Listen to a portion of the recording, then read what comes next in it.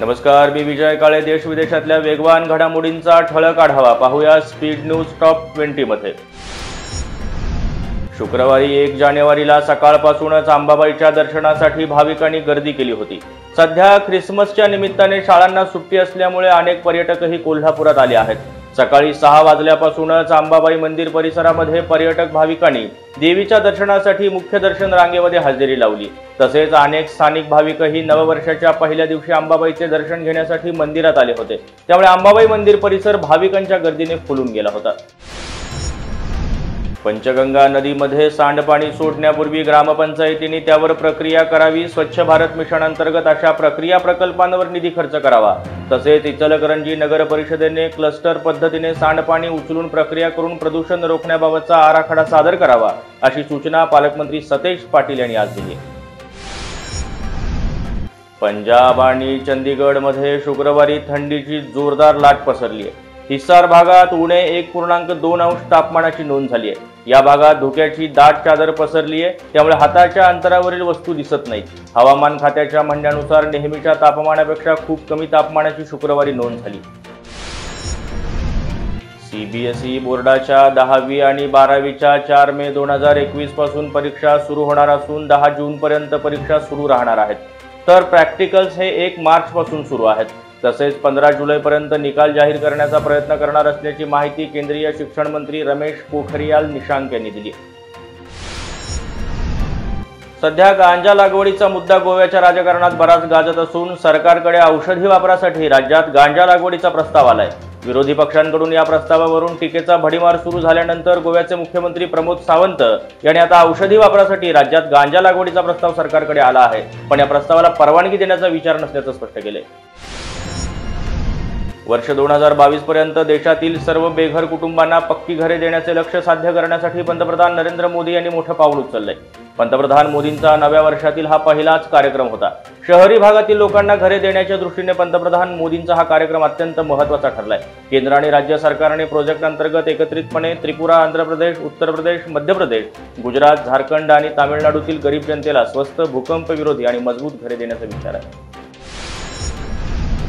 भारतीय वायुदलाचे प्रमुख air chief marshal R K S Bhadauria यांनी गुरुवारी एकतीस डिसेंबर रोजी वायुदलाचे मुख्यालय वायुभवन येथे वायुदलाच्या ई गव्हर्नन्स पोर्टलचा औपचारिक प्रारंभ केला आहे याची अंमलबजावणी डिजिटल इंडिया याचा एक भाग म्हणून करण्यात आली आहे. आणि हा ई गव्हर्नन्स उपक्रम संपूर्ण भारतीय हवाई दलाचा कायापालट करेल असंही त्यांनी म्हटलंय. कागद विरहित कार्यालयात रूपांतर होण्यासाठी याची मदत होईल. भारतीय वायुदलात ई गव्हर्नन्सची सुरुवात झाल्यामुळे सध्याच्या संपर्क पद्धतीत आमूलाग्र बदल होईल आणि फायलिंग दस्तऐवजीकरण डिजिटल पद्धतीने होईल.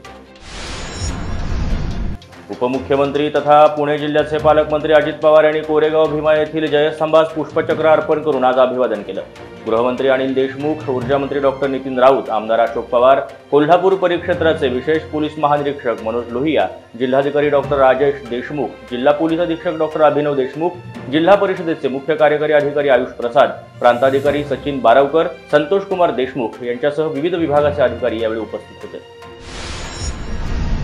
जगातील सर्वात उंच युद्धभूमी म्हणून ओळखल्या जाणाऱ्या हिमालयातील अतिथंड सियाचीन युद्धभूमीवर प्रथम पाय ठेवत तिचा सखोल अभ्यास करणारे आणि नकाशे व्हिडिओ तयार करून लष्करी दृष्ट्या सियाचीनला अभेद्य करण्यास सिंहाचा वाटा उचलणारे योद्धे कर्नल नरेंद्र बुलकुमार हे कालवश झालेत. दिल्लीतील आर्मी रिसर्च अँड रेफरल रुग्णालयात कर्नल कुमार यांनी गुरुवारी अखेरचा श्वास घेतलाय. निधन झालं तेव्हा त्यांचं वय सत्याऐंशी होतं. पद्मश्री नरेंद्र बुलकुमार वयोमानानुसार अनेक आजारांनी ग्रासले होते.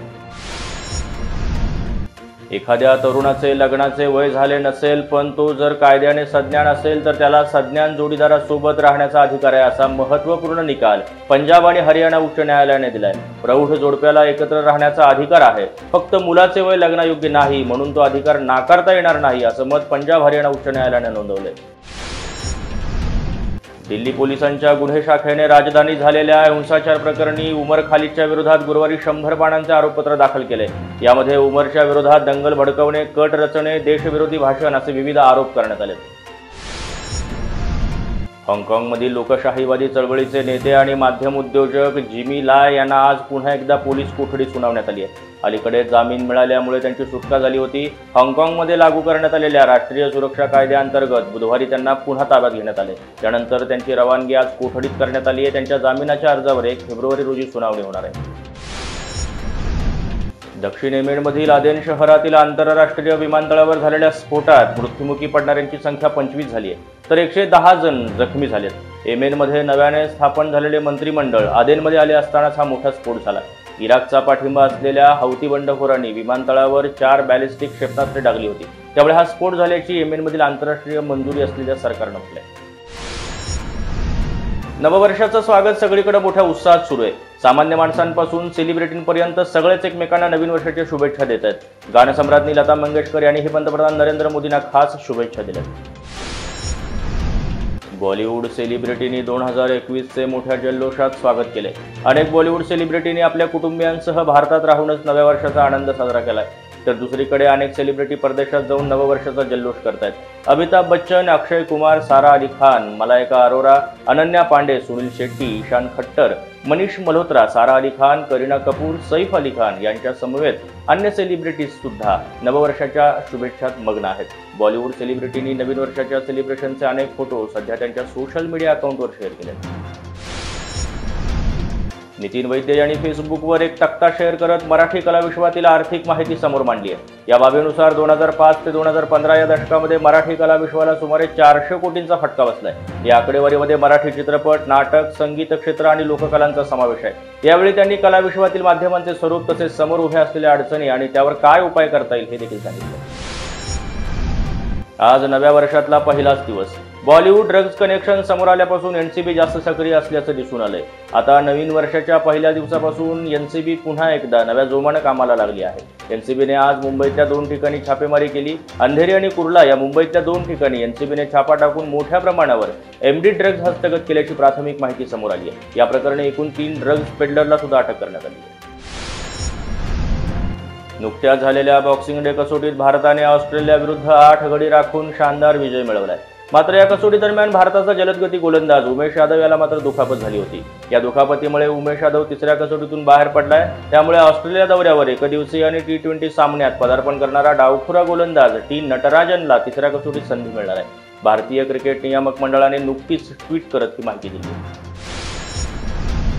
भारतीय संघ सध्या ऑस्ट्रेलिया दौऱ्यावर असून नुकतंच दुसऱ्या कसोटी सामन्यात कर्णधार अजिंक्य रहाणेच्या नेतृत्वाखाली भारताने ऑस्ट्रेलिया संघावर दमदार विजय मिळवला त्यातच भारतीय संघाच्या चाहत्यांसाठी अजून एक आनंदाची बातमी आहे. भारतीय संघाचा स्टार जलदगती गोलंदाज उमेश यादव याला कन्यारत्न प्राप्त झाले.